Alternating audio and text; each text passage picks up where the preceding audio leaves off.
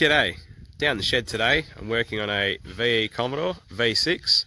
Going to be changing out the automatic transmission without using a hoist. Start the job off by disconnecting the battery. You'll need a 10mm spanner or socket to undo the battery clamp. Pull the negative off first. I like to throw just an old battery terminal cover on it. Go from there. So before jacking the car up, try and get as much as you can done from above. So you got to loosen off the dipstick tube, which is that 10 mil bolt goes there. Once you've removed that bolt, there's an earth wire just hanging out the way, and that dipstick tube will wriggle out the transmission. Really see, but uh, that's disconnected now out of the transmission, so that will drop down. If you can, try and apply CRC to the exhaust bolts that hold the Cadillac converter up, because the job's easier with those out of the way. Remove this plastic cover, which just pops off can only get to one one nut down there. focuses. So I have to get the other one from below. Now these bolts will be very, very stiff slash seized. I got it to crack with a fair bit of effort.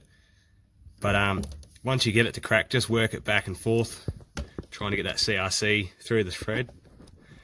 So I've got that one loosened off. So it's good to go. This one here, I'm just working back and forth. Do the same on the other side. So I've used a single hex 15mm socket with a couple of extension bars. And I used a half inch breaker bar just to crack it. And I've gone back to a 3/8 drive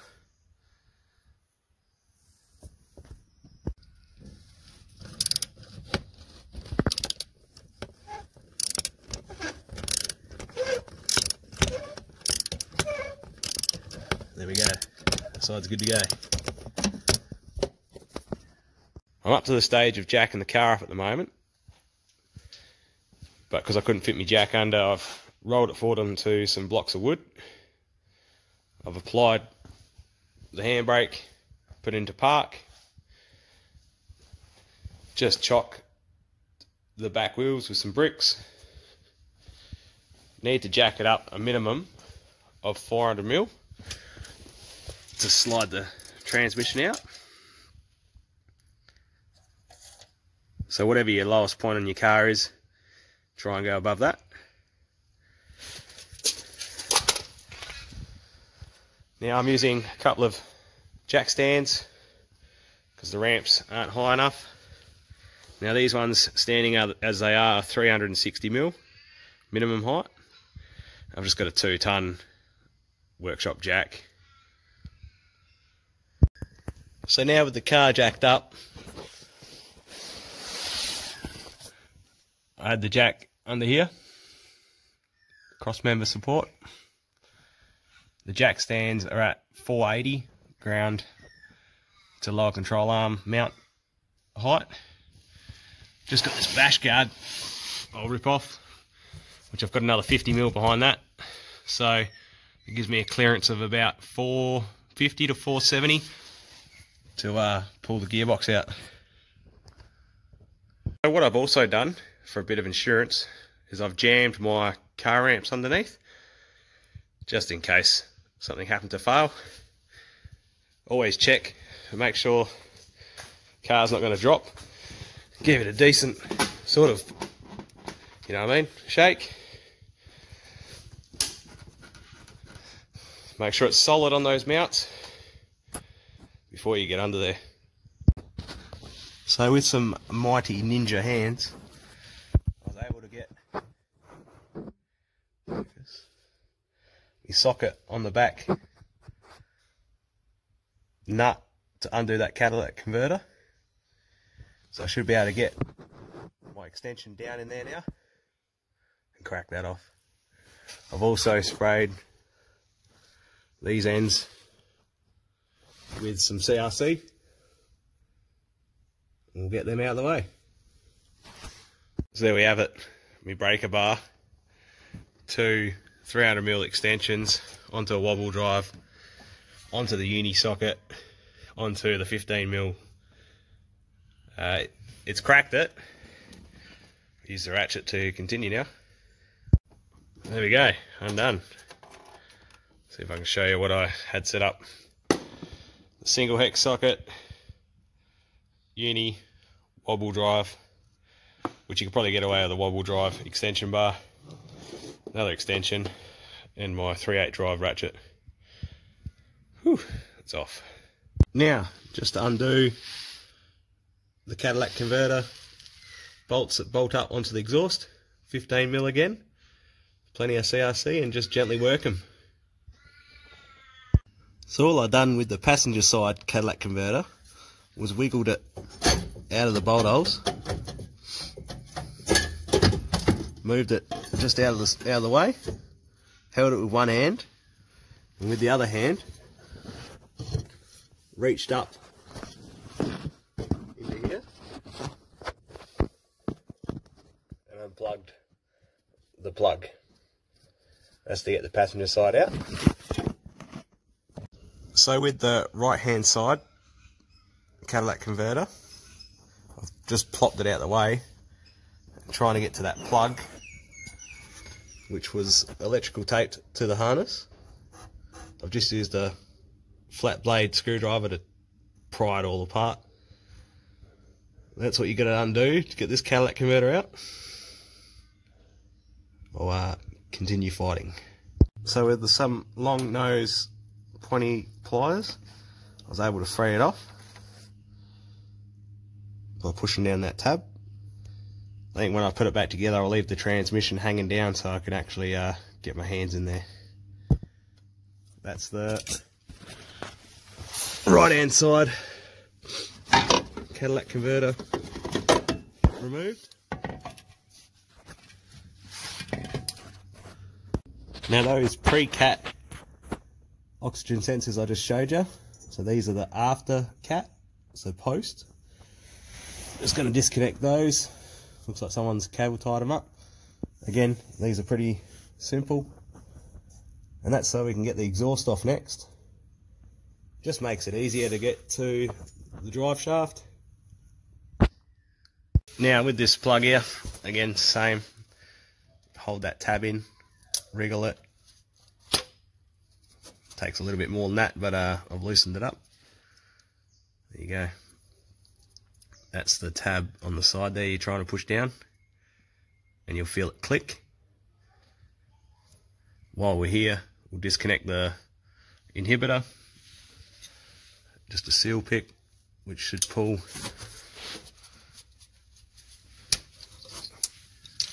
sorry, that there just pulls out like that. Now this section should slide down off the inhibitor and you, you get the idea that wriggles off. I'll undo the selector. This will be tight, so just gently wiggle it off and then try and hold it out the way. That's that side. Also I'd like to mention how I undone the selector. 15mm spanner and a shifter just to hold the selector arm.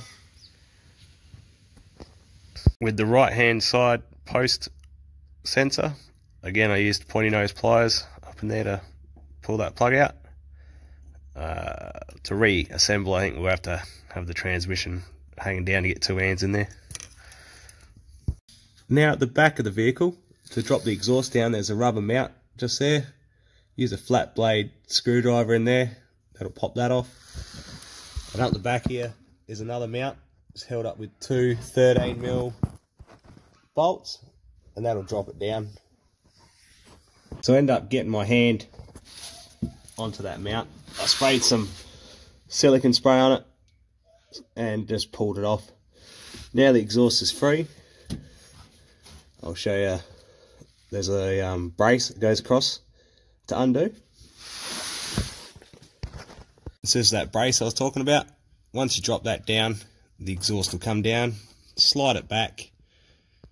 Just get it out of the way. With this brace, I don't think you can really stuff it up, but if you're pulling anything off, just put an arrow pointing forward for reassembly, then you've got an idea. I had a bit of a uh, drama. The exhaust just wouldn't slide out, so I just had to jack the car up just a touch to pull it out the back. So there's that rubber mount. It's held up with two bolts. You could probably pry that off, but I found it easier just to undo those two. Now she's out the way.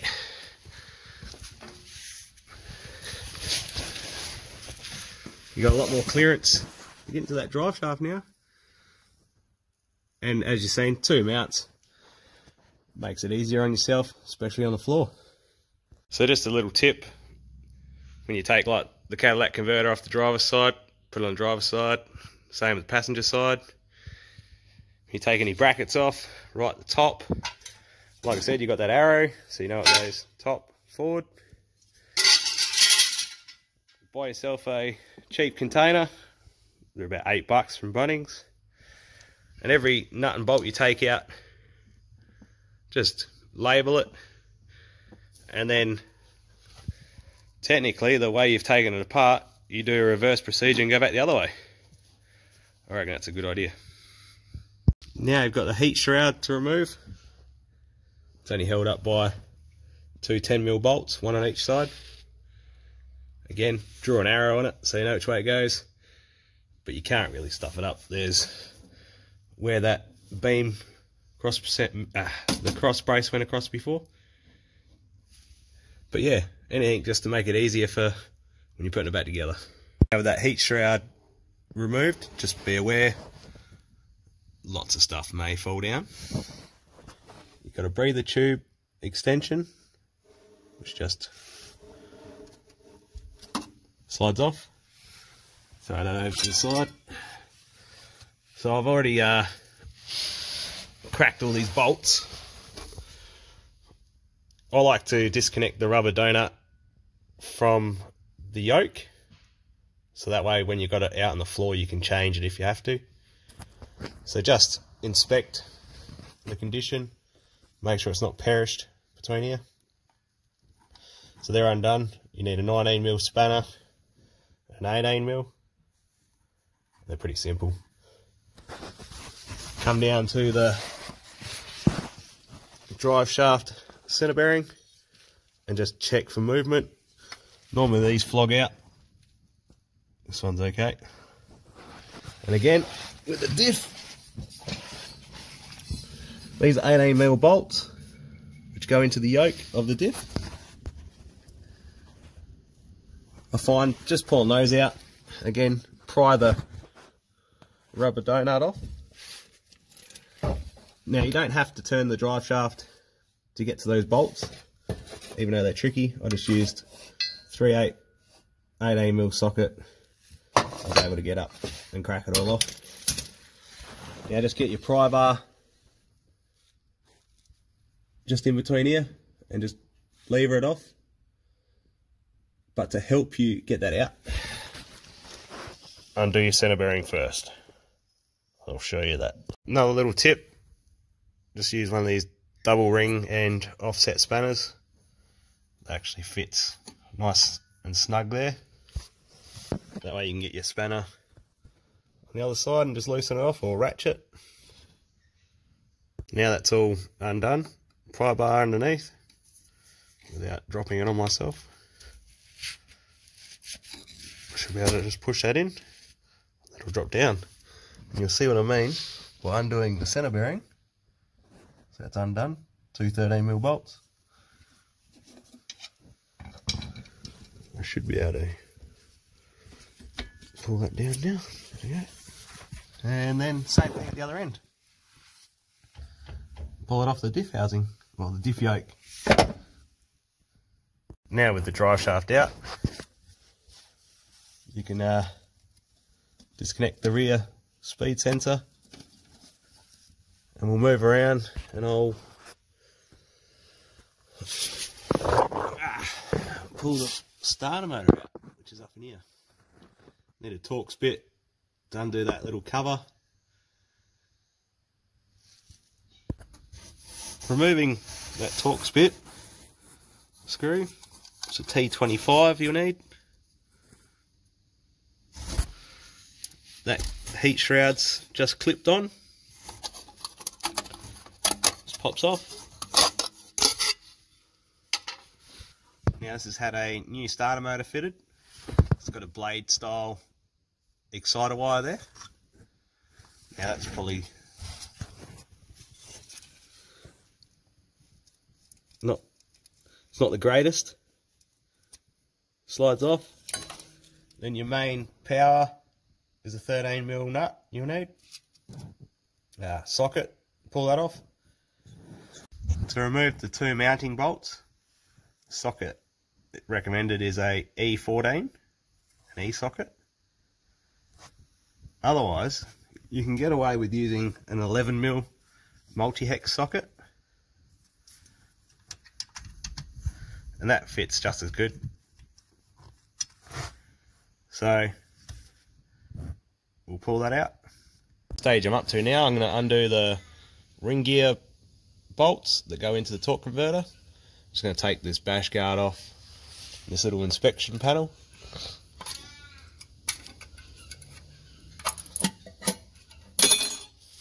That's it. To undo the ring gear bolts, they are located where the starter motor lives. Just in here. You need an 18 mil socket to undo those. Once I've got that lined up, I make a reference point for reassembly. The easiest way I've found to undo these bolts, there's three of them. So if you have a deep 18 mil socket, locks up against the engine block, then you just use your ratchet. When you're pushing to crack them, try and use an open hand to push it up because if you have it closed and they give, you'll smash your knuckles, and that's not a happy day. When turning the engine over, I just use a pry bar against the ring gear teeth, just being small, small movements. Now with all those bolts removed, you should be able to push the torque converter back. There we go. Slid back. Just take reference to the gap you've got. Torque converter should spin around. Righto. While you're in the area, there's these two plastic covers. There's one on this side.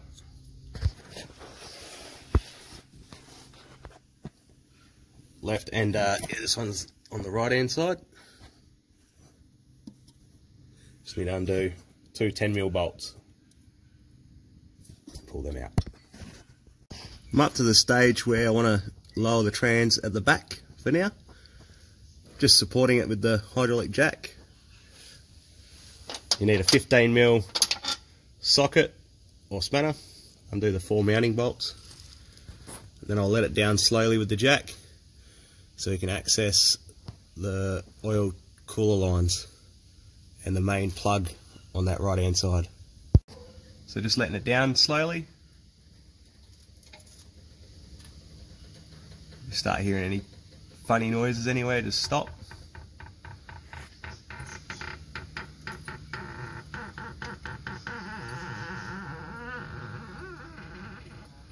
Now this will give us enough clearance to get our hand up in there and remove breather line undo the main plug on the side. So to undo this plug here, there's two tangs down the bottom squeeze on them and give it a wriggle. There we go. The tangs I'm talking about on the side here, squeeze those in. That's out of the way. I think I already showed you. pull the speedo out, which is that clip there. Now we've got a, there's a breather pipe on top to disconnect.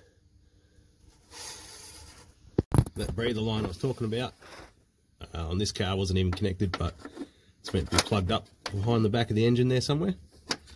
That's made it easier. So there's also a harness P-clamp, which you can wiggle that out. Now the harness is loose in there. I'll cable tie that out the way and I'll show you what I've done there. What I've done with the harness is I've just pulled it around, just wrapped it around the chassis for now and just wedged it out the way so you can pull the transmission down. There's the dipstick. And now we're on to the stage of pulling the transmission cooler lines out. To do this little mission, I've just used a seal pick to pop back that dust cover.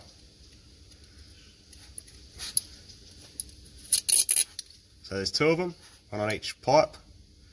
Now in here is a little circlip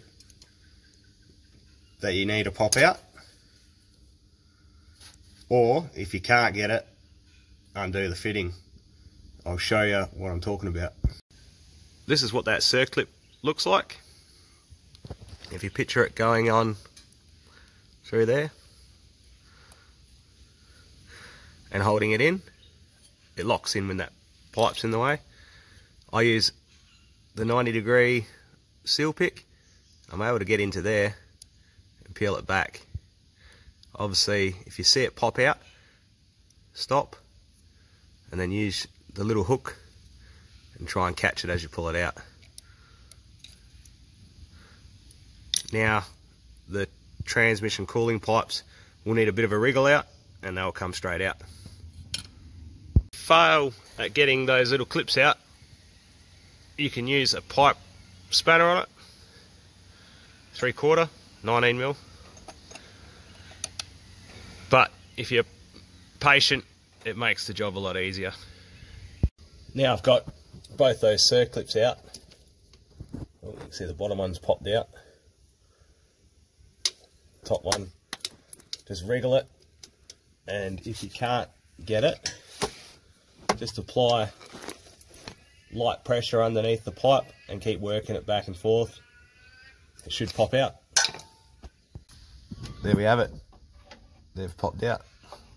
So what I do, I'll cable tie them out the way as well for removal of the transmission. So just some little tips. I've just cable tied the harness out of the way. So I've got plenty of clearance. Same with the selector shaft. Selector arm. Just cable tied it out of the way. Right, time for the fun part. Pull out those bell housing mounting bolts. There's eight facing forwards. And there's one facing back. To undo these, the E-socket 14 or a multi-hex 11mm socket. So to get those top bolts out in the bell housing, I used a wobble drive adapter, a couple of 300mm extensions, I think it's a 250-ish. You want a total length of about 800, just to make it easier on yourself. So what I've done, I've just left that middle bolt in, and I've put two bolts at either side. About half the thread, just to hold them in place. Then I've placed a block of wood, rubber, so you can use an old car mat or something under here. And I've got a bit of old Jarrah wood with the hydraulic jack just supporting the load. So what I'll do now is take that top bolt out and then because those side bolts are easy to get to, you're out of the way in case the trans does come down on you. And there you go, those extensions make it quite handy to get that bolt out. So that top bolt's out now. I'll just pull these side ones out. So they should finger tight. Remembering to stay to the side when pulling these bolts out. just in case. You have got dowels that hold it up in, on there, but it will be separating at the moment. There we go. So there's no bolts holding that in at the moment, so do not go under it. Now, I'm just going to crack the jack just a touch and give it a bit of a wriggle. Pry bar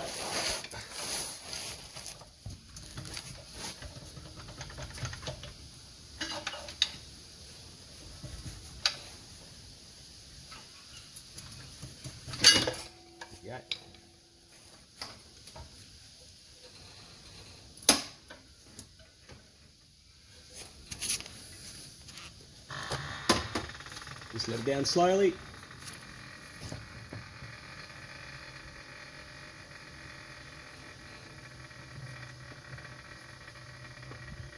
You can balance it.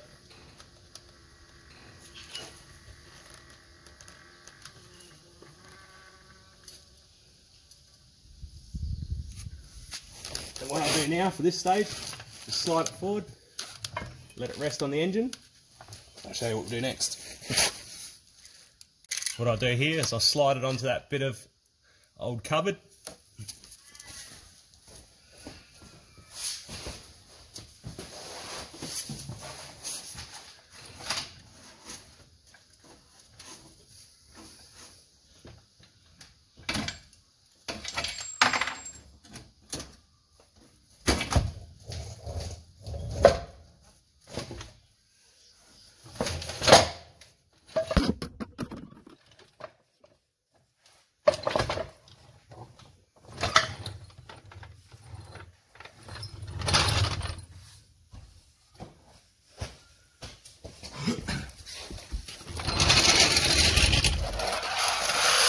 Slide another piece of cupboard under.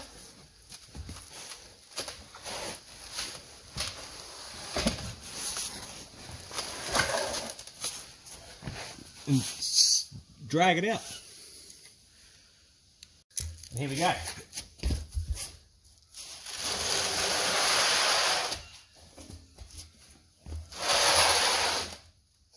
Four speeds out. Dirty thumbs up.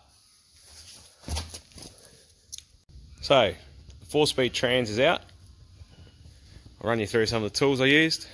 It might help you out. Basically 18, 15, uh, possibly, yeah, 19 on the drive shaft there. The E socket. Now these are cheap for a set. I think I actually brought these from Bunnings. E14. Otherwise, the 11mm multi-hex is close enough pair of side cutters, pointy nose pliers, long, they were handy for me. Couple of ratchets, tape measure, CRC, seal pick, Torx, Allen key, that was a T25, couple of marker pens, 13mm socket, 10mm socket, 15, 18, and again, a couple of deeps and they are single hex. Uh, a little pry bar, bit of a breaker bar there. Used an attachment, so from half inch down to 3 8. I may have misled you before with these extensions. They're 280 in length, and that one there was a 200. So, a couple of random ones. Some other handy tooling if you got it. Rattle gun, a uh, electric ratchet, some cable ties, and this parts container now. I like using this because if you haven't done the job before, you can set it all up and if you get called away, e.g. kids come get you for dinner, in my case, you can uh, come back to it, you know where you're at.